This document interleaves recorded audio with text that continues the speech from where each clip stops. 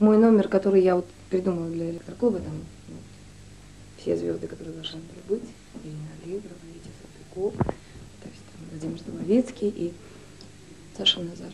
Первый номер, который у меня был, самый хороший, наверное, самый уютный, я дала ему. Не знаю почему. Не из-за того, что он первый приехал, не из-за того, что я администратор, и вот группа Электроклуб, я поклонник. Да, в то время я действительно была поклонником группы Электроклуб. А вот не знаю почему-то, безумно добрый человек. И я, м, поселившая его в гостиницу, первым моим ощущением было, он спустился через пять минут и подарил мне розочку. Одну розочку. Это было мое первое знакомство с Сашей. Первое. Мы частенько разговаривали по-украински, правда. Там, добрий день, ну добрий день, ну що ви робите? Та що вже нічого, там вже спом... а ви що робите? А я пишу пісні. Там. Та що? Так.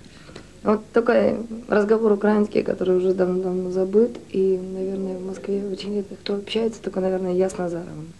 А что в Назарове есть плохого? Плохого? Скажу.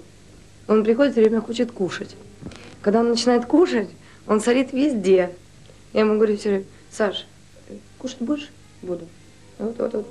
А он начинает кушать, ходя по комнате. То есть он разговаривает по телефону, все время нужно решать какие-то дела. Все время кружки вокруг стола, все время валяется, все, что.